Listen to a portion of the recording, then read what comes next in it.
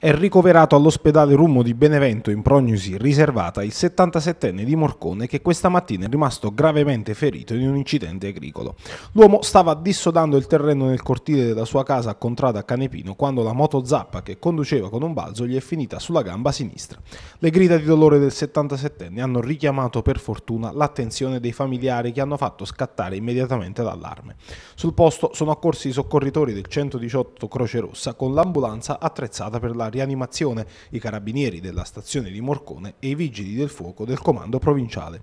I pompieri e i soccorritori medici hanno con la massima delicatezza rimosso le lame in ferro dall'arto del malcapitato che successivamente è stato caricato in ambulanza. A causa dell'emorragia in atto, il medico rianimatore ha quindi chiesto l'intervento del 118 che è atterrato in uno slargo alle porte di Morcone. Caricato il ferito, il velivolo si è alzato in volo ed ha trasportato il pensionato a Rummo, dove i medici lo hanno operato e ricoverato in prognosi riservata.